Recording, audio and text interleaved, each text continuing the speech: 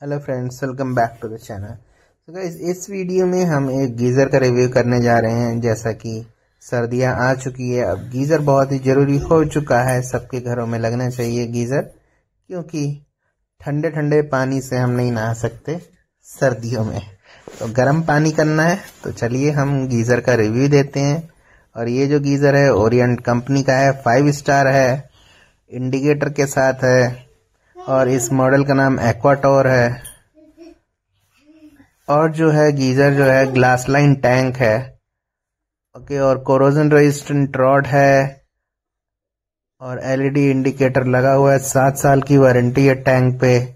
चार साल की हीटिंग एलिमेंट पे है। और दो साल ओवरऑल पूरी इसकी वारंटी है हीट गीजर की।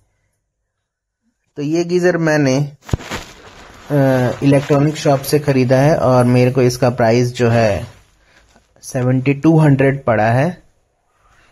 और ए गीजर जो है पंद्रह लीटर का गीज़र है। देख सकते हैं आप, गीज़र का प्रोडक्ट और मॉडल नंबर लिखा हुआ है।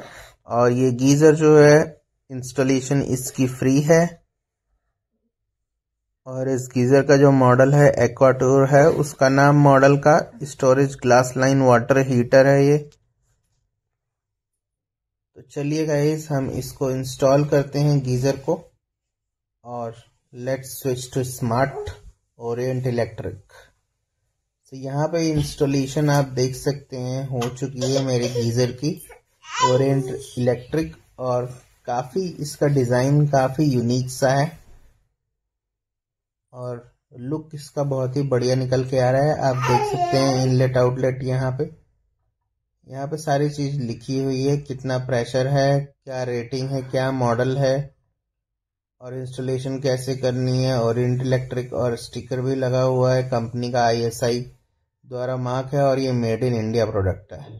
तो इन, आपका पानी इन जा रहा है ब्लू से और आउट निकल रहा है रेड साइड से। सो so गाइस इस गीजर के साथ मेरे को कनेक्शन जो मैंने किया है, किया हुआ है नीचे पाइप तो पाइप नहीं मिला था इसके साथ तो पाइप आपको अलग से खरीदना पड़ेगा। यहाँ पे मिन और मैक्स का मीटर है और इंडिकेटर देख सकते हैं आप, जैसे ही ऑन करूँगा ग्रीन हो जाएगा और हीट होने के बाद वो रेड हो जाएगा। तो चलिए हम इसको ऑन करते हैं, देख सकते हैं आप, ये ग्रीन है और जैसे ही हीट हो जाएगा पूरा आफ्टर फाइव सेवन मिनट्स ये रेड हो जाएगा। तो गाइस ये गीज़र मैं यूज़ कर चुका हूँ और एक महीने से यूज़ कर रहा हूँ और इस गीज़र में मेरे को अभी तक कोई दिक्कत नज़र नहीं आई है। अगर आपको परचेस करना है ये गीज़र तो मैंने डिस्क्रिप्शन बॉक्स में लिंक दे दिया है। Thank you have a nice day